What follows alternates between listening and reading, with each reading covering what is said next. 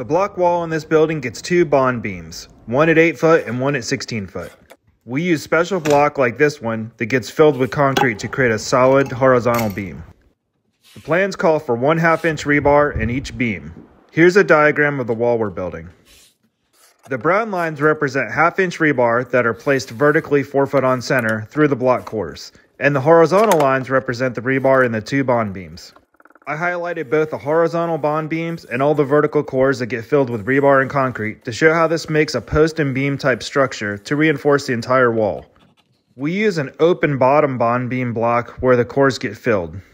Here's the finished beam with the rebar installed and one of the cores.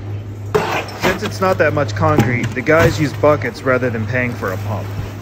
You can see the concrete disappearing into one of the cores. Once it's all filled up, they level it off.